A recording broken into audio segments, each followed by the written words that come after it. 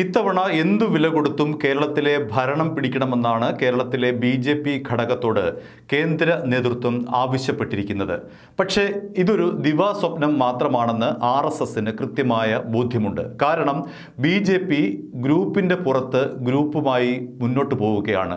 ഒരു നേതാവിന് മറ്റൊരു നേതാവിനെ കണ്ടുകൂടാ മറ്റൊരു നേതാവിന് അടുത്ത നേതാവിനെ കണ്ടുകൂടാ. ഇത്തരത്തിൽ പരസ്യ പോർവിളികളും പരസ്യമായ ഏറ്റുമുട്ടലുകളും നടക്കുന്ന ബി ജെ പിയുടെ ആഭ്യന്തര ഭിന്നത ഒരു കാരണവശാലും കേന്ദ്രത്തിന്റെ ലക്ഷ്യത്തിലേക്ക് കൊണ്ടെത്തിക്കില്ല എന്നുള്ള കാര്യം കൃത്യമായി ആർ എസ് എസ് നേതൃത്വം തിരിച്ചറിയുന്നുണ്ട്.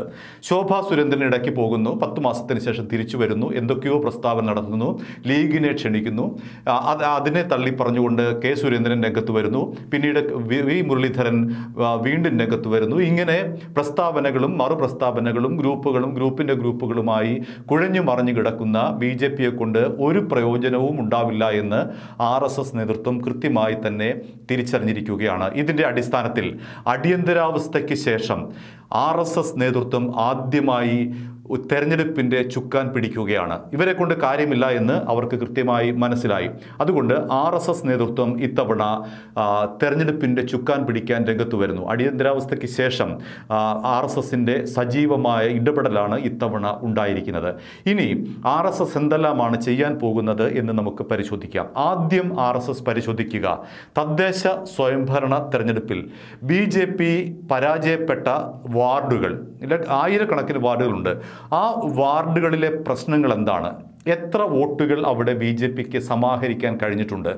അവിടെ സംഘപരിവാർ അനുകൂലികൾ ബി ജെ പിക്ക് വോട്ട് ചെയ്യാതിരുന്നിട്ടുണ്ടോ? ഉണ്ടെങ്കിൽ അതിന്റെ കാരണം എന്താണ്?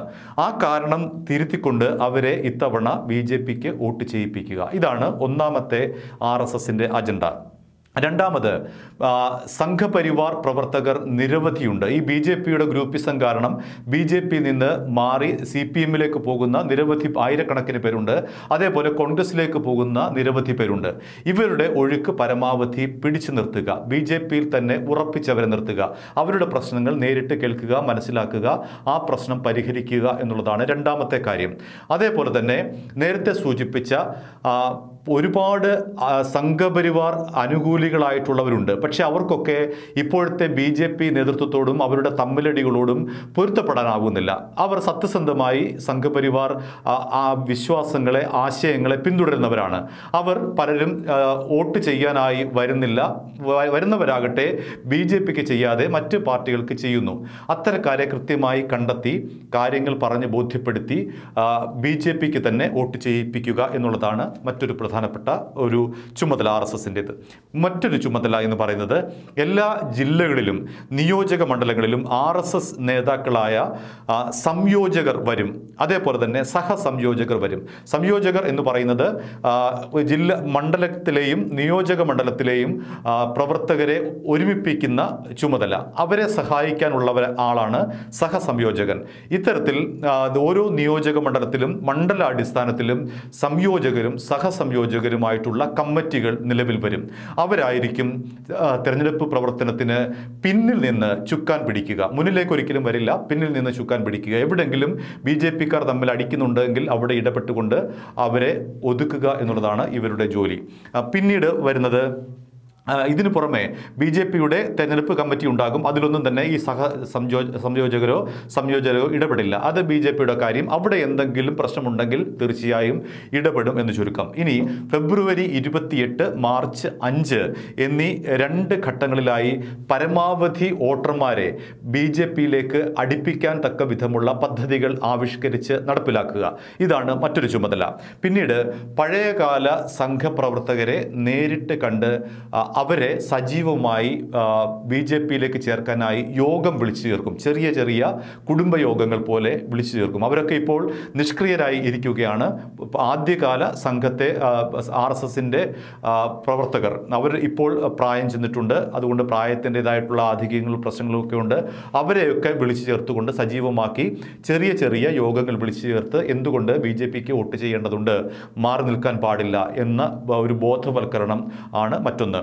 പിന്നീട് ഏറ്റവും ഒടുവിലായി പഞ്ചായത്ത് ഏരിയ തലങ്ങളിൽ ആർ എസ് എസിന്റെ ശക്തരായ കേഡർമാരുണ്ടാകും. അവരുടെ നിയന്ത്രണത്തിലായിരിക്കും തെരഞ്ഞെടുപ്പ് പ്രവർത്തനങ്ങളുടെ ചുമതല ഉണ്ടാവുക. അവർ കൃത്യമായി തന്നെ ബി ജെ പിയുടെ തെരഞ്ഞെടുപ്പ് നീക്കങ്ങൾ നിരീക്ഷിക്കും.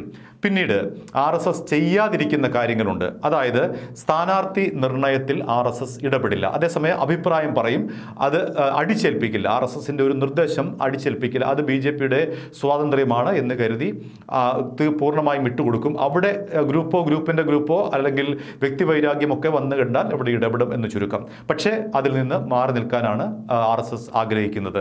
പരസ്യമായിട്ടുള്ള അഭിപ്രായ പ്രകടനങ്ങൾ ആർ എസ് എസ് നേതാക്കളോ ആർ എസ് എസ് പ്രവർത്തകരോ തെരഞ്ഞെടുപ്പുമായി ബന്ധപ്പെട്ട് ഈ കമ്മിറ്റികളുമായി ബന്ധപ്പെട്ട് പരസ്യ പ്രചരണം അല്ലെങ്കിൽ പരസ്യ പ്രസ്താവനകൾ നടത്തത്തില്ല. അതേപോലെ തന്നെ വാദപ്രതിവാദങ്ങളിൽ ഒരു കാരണവശാലും ഈ ആർ നേതൃത്വം ഇടപെടില്ല. മറിച്ച് മാറി നിന്നുകൊണ്ട് അടിയന്തര നേരത്തെ ആദ്യം പറഞ്ഞതുപോലെ തന്നെ അടിയന്തരാവസ്ഥയ്ക്ക് ശേഷം ബി ജെ പിയെ ഉണർത്തുക അവരുടെ പ്രശ്നങ്ങൾ ഒരു കാരണവശാലും അനുവദിക്കാതിരിക്കുക. നിരവധി പ്രശ്നങ്ങൾ നേരിടുന്നുണ്ട്. അതൊക്കെ തന്നെ അടിച്ചമർത്തിക്കൊണ്ട് ഒറ്റക്കെട്ടായി ബി ജെ പിയെ തെരഞ്ഞെടുപ്പിന് സജ്ജമാക്കി കേരളത്തിലെ ഭരണത്തിലേക്ക് എത്തിക്കാനാണ് ആർ എസ് എസ് ഇപ്പോൾ ശ്രമിക്കുന്നത്. അതിന്റെ ഭാഗമായിട്ടുള്ള ഒരു പദ്ധതിയാണ് ഇപ്പോൾ ആവിഷ്കരിച്ചിരിക്കുന്നത്. ഒരു മാസ്റ്റർ പ്ലാനാണ് ഇപ്പോൾ ആസ്- നടപ്പിലാക്കിക്കൊണ്ടിരിക്കുന്നത് അല്ലെങ്കിൽ നടപ്പിലാക്കാൻ പോകുന്നത്.